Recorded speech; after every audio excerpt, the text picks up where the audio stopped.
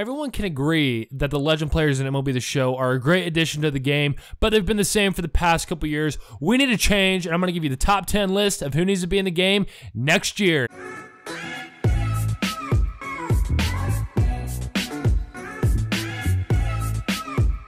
I'm going to be giving you my top 10 list of who needs to be in the game for MLB The Show next year.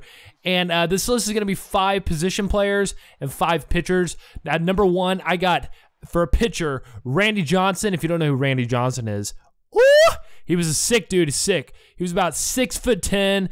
Played for the Diamondbacks. Played for the Mariners. Played for a bunch of teams. Threw really hard left-handed.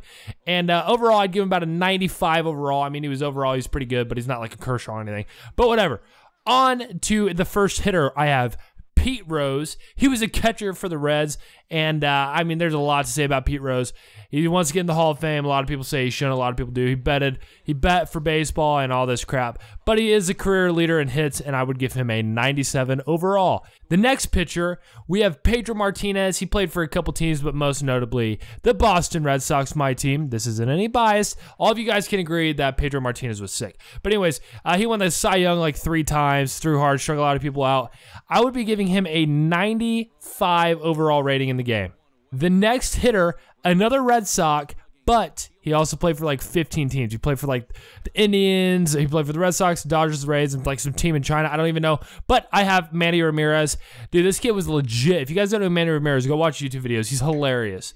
He, I don't even I don't know who to compare him to, but he is legit. I'd be giving him a actually a 99 overall rating. For his prime years, he uh, absolutely slayed. He was legit. He batted way over 300. I think he might actually hit over 50 home runs. I don't even remember, but my God, he was legit. The next pitcher I have is a Dodger from the 50s, Sandy Koufax. If you don't know who Sandy Koufax is, a lot of people compare Kershaw to him. They say Kershaw's the next Sandy Koufax.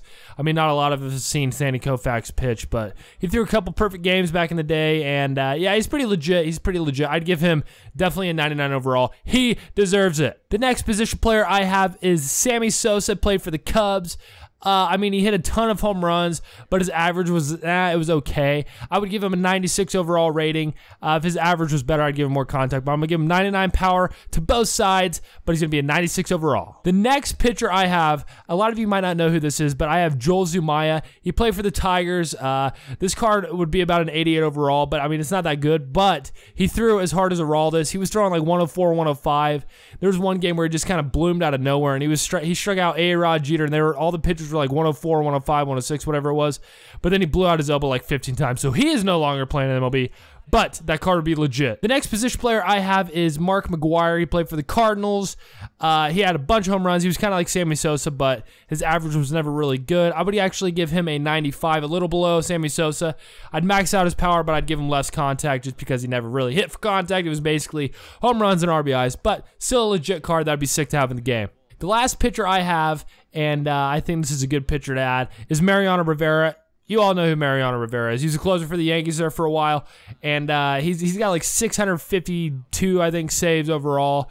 He's at the most of all time. I'd give him a 98 overall. Uh, I think he'd be one. He'd be pretty effective if you give him that cutter that moves a lot. But that would be legit to see him in the game. A lot of people would use him, and uh, why not? All right, guys. Last but certainly not least, and this is gonna break my heart to say it because I don't really like the Yankees, but I do like this guy, Derek Jeter. I'd give him a 95 overall. Uh, he's one of the best shortstop of all time. He never really had like that amazing year where he hit 50 home runs and that like you know he, he never had that great year. But I mean, overall, he's a good he's a good shortstop. But for his prime year, I'd give him about a 95 overall rating. All right, guys, if you enjoyed that video, be sure to slap a like. If you're new, be sure to subscribe. There's gonna be a lot of MLB The Show gameplay. I don't know why I said that so weird.